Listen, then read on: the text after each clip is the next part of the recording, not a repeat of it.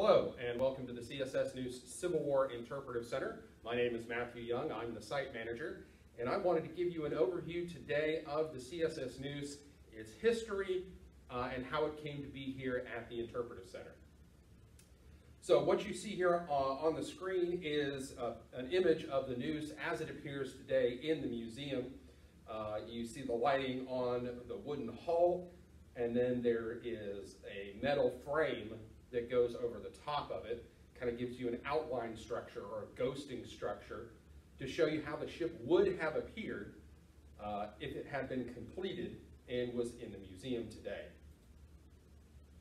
So why an ironclad? Why was ironclad development so important in the 1860s? Well, first of all, the Union Navy established a blockade around the South when the war began as part of uh, Winfield Scott's Anaconda Plan. Uh, so establishment of that blockade meant the South would have to defend itself with limited resources. Remember, the South at this time is largely agrarian, uh, not very much industry, and also um, not very many deep water ports for shipbuilding. The majority of the shipbuilding in the United States was concentrated in the mid-Atlantic and New England. There were really only a few ports in the South that could build larger warships. Um, Norfolk in Virginia was one and New Orleans was the other. And both Norfolk and New Orleans would fall um, by the middle end of 1862, thereby limiting uh, where the South was able to build ships for defense. As you can see, North Carolina has a lot of waterways, rivers, that go from deep interior into the state all the way out into the Sounds, Albemarle and Pamlico, and then out into uh, the ocean. Defending these, this coastline and the internal waterways were vital to the security of the state of North Carolina. And so North Carolina started petitioning the Confederate government for resources to defend those waterways. And remember, those waterways acted as highways from the coast uh, to the internal part of the state. The Confederate Secretary of the Navy, uh, Stephen Mallory, had served as a U.S. Senator on the Naval Affairs Committee uh, before secession, before the outbreak of the war. He also knew of uh, some of the battles that had happened during the Crimean War in the 1850s and the creation of a French floating battery in the Crimean War. It was called an Etna class. It was iron, it was armored, uh, it didn't move very quickly, but they did put steam engines in it. Therefore, he had this idea that steam-powered floating armored batteries could be used for coastal and river defense in the South. Building these did not require the deep water ports for construction like Norfolk and New Orleans. So therefore, they were able to be built in other places, such as Wilmington or Charleston or Savannah, uh, cities that had access uh, to riverways and the sea. By October of 1862, it was clear uh, after the fall of New Bern, after the fall of um, Roanoke Island, after the fall of Morehead City and Fort Macon, that uh, more defense was needed in eastern North Carolina. So in October of 1862, the Confederate Navy contracted to build three river defense ironclads in North Carolina. The CSS Albemarle on the Roanoke River, uh, an ironclad on the Tar River, and the CSS Neuse on the Neuse River. And the ship firm of Howard and Ellis received the contract. Now, Howard and Ellis, interestingly enough, was out of New Bern. Of course, New Bern was occupied by federal troops, so they didn't have access to their home office. They had to kind of do everything on the fly and do it out in the field. And construction on the Neuse began at Whitehall on the uh, Neuse River, and Whitehall today is currently called Seven Springs. Um, and it began construction, as I said, in October of 1862. Work was slow going, and it was interrupted two months later by the raid of General John G. Foster. Uh, Foster came over with about 12,000 men out of New Bern. He first attacked Kinston, and then he moved down the Neuse River towards Goldsboro, which was his ultimate objective. The objective was to destroy the railroad bridge between, uh, that went over the Neuse River uh, in Goldsboro and was a link between Wilmington in the south and Weldon, North Carolina in the north, which supplied uh, Lee's Army of Northern Virginia. Coincidentally, this attack happened at the same time as Burnside's expedition uh, at the Battle of Fredericksburg, uh, December of 1862. Foster's raid delayed construction of the Neuse, but it didn't stop it. It didn't cease it. Uh, the, the, ship, uh, or what was becoming the ship, was not destroyed. As a matter of fact, it began construction about a month later, delayed it four to six weeks. And by late spring, there was a uh, empty shell of a hull that was put into the river and brought down to Kinston. And when it, uh, when it arrived at Kinston, they placed it uh, near where the King Street Bridge is today. Uh, there was kind of a high bluff area there. They built a cofferdam around it, and they began to uh, move material and supplies in to outfit the ship for war. So she's officially designated as an ironclad ram. Now, what that means is that if it did not shoot you uh, with her guns, she had an iron-backed wooden ram on the front designed to penetrate into the side of your ship, ram into you, and sink you. This is exactly what the uh, Confederate ironclad Virginia, also known as the Merrimac, did uh, in March of 1862 in Hampton Roads. It rammed and sank uh, a Union warship. The ship was 152 feet long, it was 34 feet wide, and depending on how much coal and machinery she, she had on board, uh, had between an 8 to 9 foot draft. She was armed with two 6.4 inch Brooke rifled cannon. Uh, however, she had uh, gun ports. Each one could fire out of one of five gun ports. So there were 10 gun ports on the Neuse. However, she only had two guns. So if you were firing a broadside out of one side, both guns could be aimed to fire out the broadside or uh, one out the front, one out the back. There's a lot of different variations. She was also powered by uh, two steam screw engines. She had two uh, engines inside that were vastly underpowered. Uh, they likely came from uh, saw, local sawmills, lumber mills. She also had a small donkey engine, and we think the donkey engine was probably used to power the ship's pumps. One of the issues that the Neuse ran into immediately, as did most southern ironclads, is that she was built out of green wood. Uh, therefore, she leaked. Uh, there was warping and cracking in the wood. The wood did not have time to season. It would have taken several years to season enough wood uh, to build these ships. So basically, they were cutting down trees, sawing them, and then putting them together without, uh, without letting the wood season. So it led to issues down the road.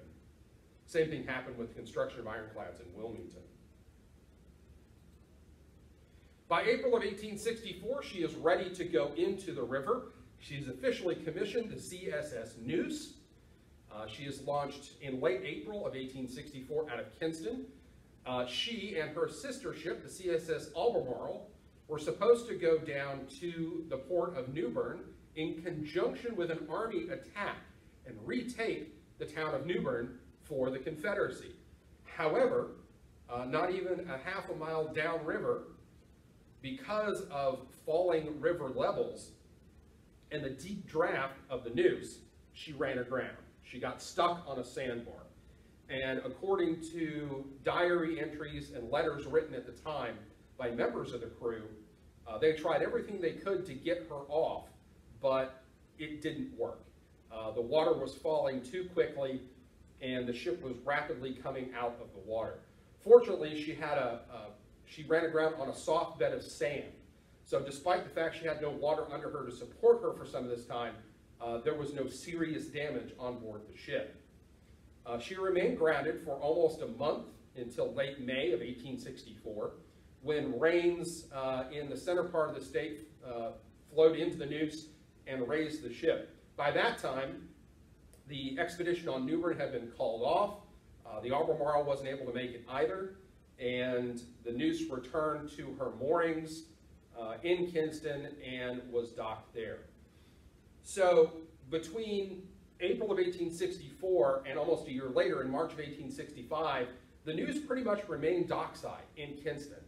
Uh, they probably did some small refits and reworkings on her, added some things, um, probably uh, gilded up the interior a little more, added hooks and doorknobs and keys and, and locks, things they may not have had time to do uh, when they were uh, trying to get the ship ready to be commissioned in April of 1864.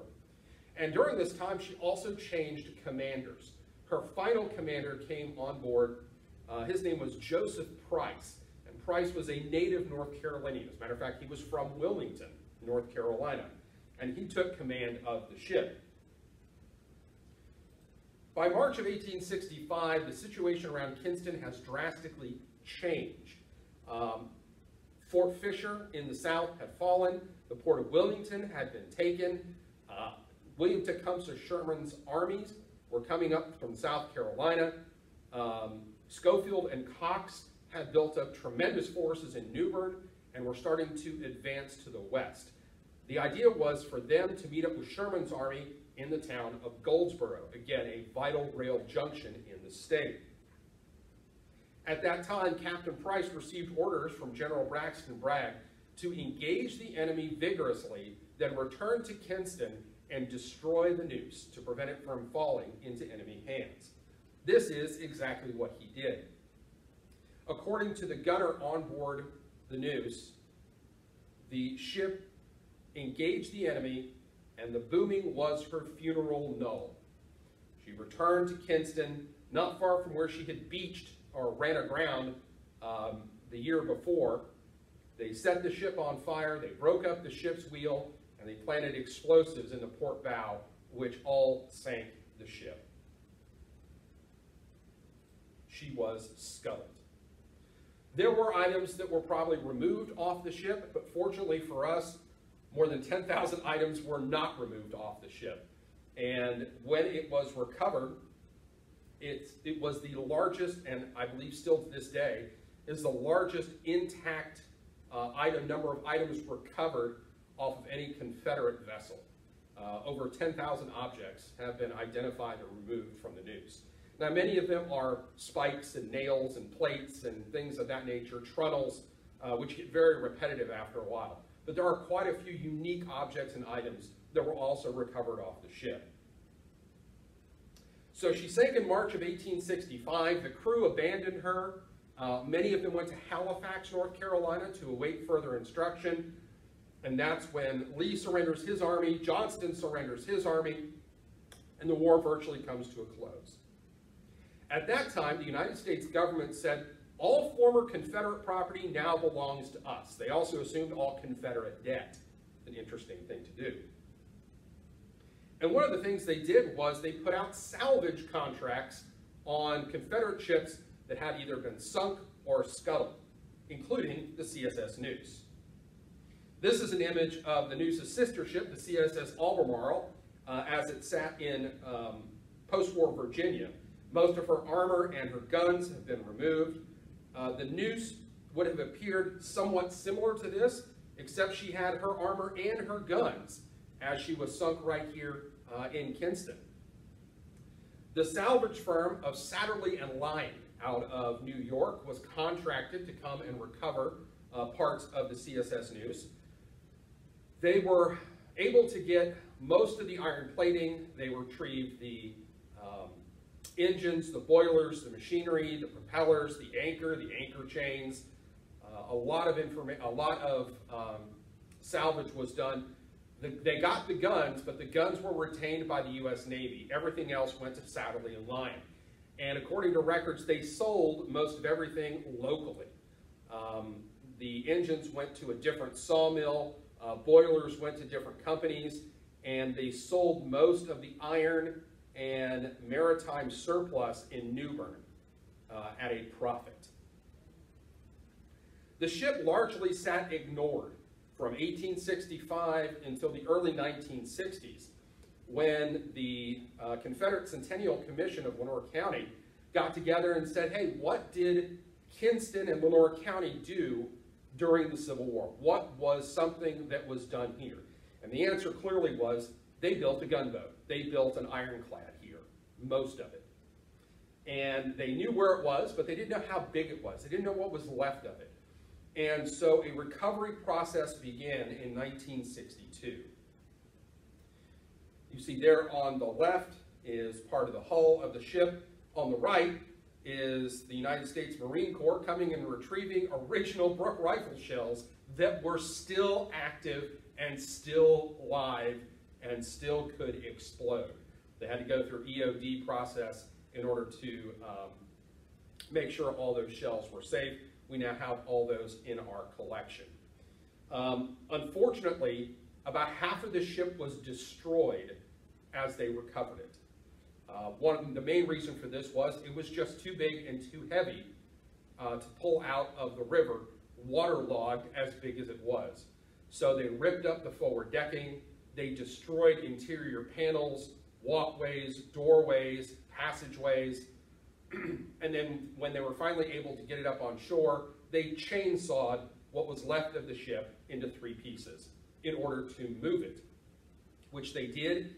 Uh, they moved it to the Governor Richard Caswell Memorial, which was the closest state-owned land uh, to the recovery site. It then became a historic site. School children, adults, uh, many people who wanted to know more information about what the Neuse was, how it contributed to the war effort, and what its role was in eastern North Carolina, uh, came by the thousands uh, between the, the, late 1960s and um, the early 2000s. The problem that the Neuse had in its new home is that it was very close to the Neuse River. Um, so close, in fact, that two very large hurricanes uh, had an impact on her. You can see that the site was almost flooded, virtually flooded, uh, in 1996. I believe that was Hurricane Fran that did that. And at that time, uh, part of the visitor center was damaged, and they said, look, I know this is a once in a century storm, but we need to move this ship away from being so close to the river and put it out closer to the road. So in the following couple of years, they built a temporary shelter by Vernon Avenue, uh, which was the main thoroughfare, and they moved the ship. I believe they moved it in 1998. And in 1999, Hurricane Floyd hit and Floyd destroyed the visitor center and probably would have carried the remains of the Neuse down the river um, if she hadn't been moved. We probably would have lost the ship. Fortunately, it was moved the year before. At this time, many people came forward and were concerned about the future of the ship, what would be left uh, of it for future generations. Um, they had several experts come out and look and say, look, if you don't move this ship, you're going to lose it in the next 50 to 100 years because even though you have it under a shelter, it's still exposed to the heat and the cold uh, that you get in the varying temperatures between the seasons here in eastern North Carolina. So they came up with a new plan. They decided to purchase a building in downtown Kinston. Uh, the local folks helped tremendously in Kinston, trying to raise money to, in order to move the ship uh, downtown to its current location. Uh, that was finally done in 2012. Uh, they were able to move the ship. It was about 105 tons. They moved it about three miles and put it inside the museum. Then they built up uh, the forward or the front-facing wall on Queen Street. Uh, the museum now exists on the corner of Queen Street and Caswell Street in downtown Kinston, uh, roughly about 600 yards or so from where she was outfitted and equipped for war uh, between 1863 and 1864. That is the information for the museum. We are the CSS Neuse Civil War Interpretive Center. We're 100 North Queen Street, and you can find us on facebook.com slash CSS Neuse. And of course, you can always contact me if you would like some further information Uh, my information is matthew.young at ncdcr.gov. Thank you for joining me today for this program on the history of the CSS Neuse.